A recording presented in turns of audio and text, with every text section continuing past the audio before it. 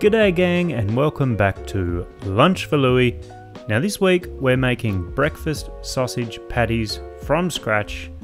They're delicious, they're easy, and you don't need a mincer. Alright, so the meat for this burger is going to be a nice fatty pork shoulder. Pop a tea towel under your cutting board so you don't add any finger to the burger. Then we're going to come along with our knife and very carefully remove the skin, leaving behind as much of that fat cap as we can.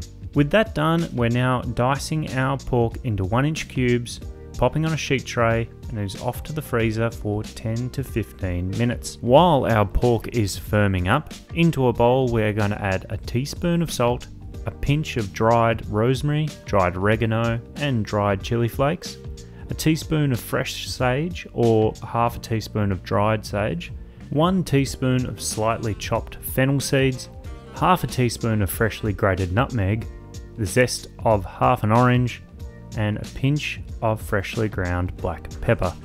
Mix that all to combine and give it a look. I added some more fennel seeds, bringing it up to probably 2 teaspoons of fennel seeds and another pinch of salt. Now, as mentioned, we're not going to be using a mincer. For small amounts of meat like this, I'm only doing touch over 200 grams, which is half a pound.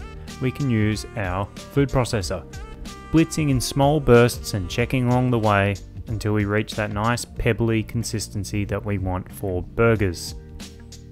Now it is time to add our seasoning to our mince, gently working it through until it's all incorporated, covering with plastic wrap, and then it's into the fridge overnight.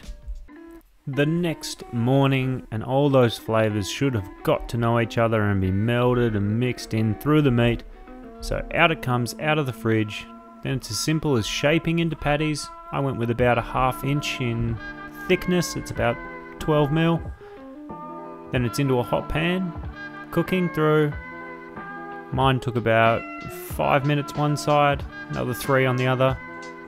If you ever do need help judging cook time, always just cook a guinea pig first.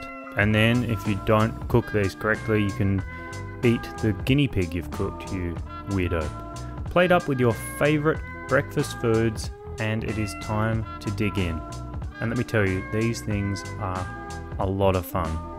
They're zesty, they're surprisingly sweet from the fennel seed, the licoricey, and look at this. It gets a lean. If you cook anything from the channel, I encourage you, make it this. They are heaps of fun. Now, I'm off to have my breakfast. Enjoy.